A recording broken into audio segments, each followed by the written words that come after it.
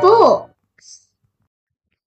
This week on Book Bites.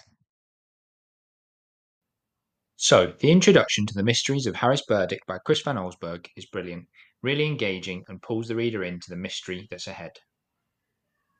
Monochrome images are simply stunning, and if you look very closely, you can find details that simply add to the mystery.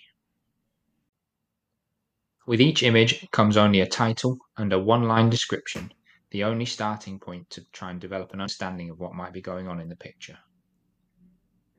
And what child wouldn't want to use a house about to blast off like a rocket or a glowing pumpkin about to be carved up as inspiration for story writing? You can also follow us on Twitter, Instagram, and also Facebook.